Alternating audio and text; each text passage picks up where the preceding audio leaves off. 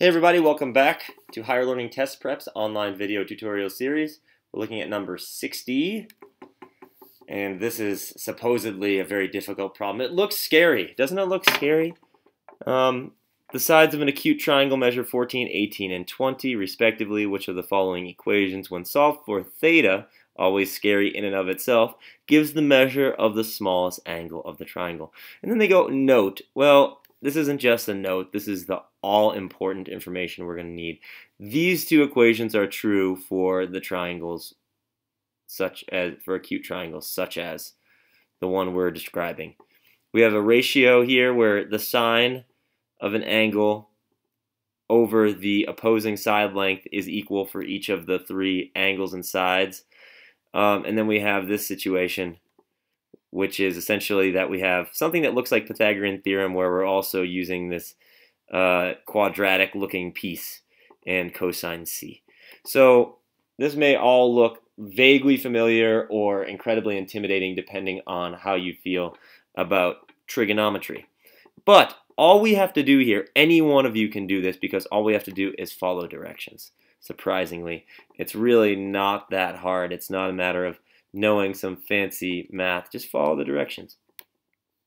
Okay, so let's see which one of these work. We have three answer choices that all look like we're using this style. The problem is if we look at each of them, okay, we're looking for, of course, the angle theta, the measure of the smallest angle of the triangle. Well, that is going to correspond with the 14, right? So we would say, you know, in this case, if we call that A, here's A. But the problem with our answer choice over here is it's saying it's equal to, well, this looks correct.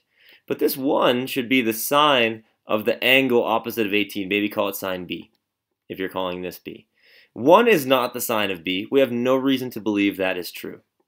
So this is incorrect. Similarly with G, it's the same mistake only we're talking about maybe the third side. I mean, it's arbitrary whether we say this is B or C, but this should be sine C if this 20 is equal to C. And we have no reason to believe that sine C is equal to 1. In fact, it's certainly not equal to 1 if you know your trig identities and how angles work with sine. Anyways, if we look at this next one, the same, this is actually just a further conflation of what's going on. We're further confusing the information here. Sine theta over 20. Now we're talking about, we're looking for the smallest angle. This is the largest side, so that doesn't make sense. We need the smallest side. So even right there, this one is incorrect. Okay, so it looks like we're going to use the other equation because these two are using the other equation.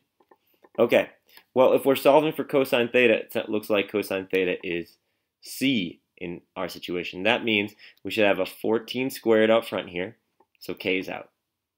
And if you weren't totally sure about, let's continue to do this. Well, now we're saying A is 18, B is 20. Negative 2 times A, where's our 18? B, there's our 20. Cosine theta was C, which corresponds to 14. It all checks out. So surprisingly, you didn't really need to know trig to get this question right. You just need to be careful following directions and not intimidated. So don't be scared. The ACT is very beatable. And if you need any help, get in touch with us in any way you like. Email, Facebook, Twitter, WhatsApp, anything you like, and we'll show you what's going on with the ACT or the SAT. Thanks, everybody, and take care.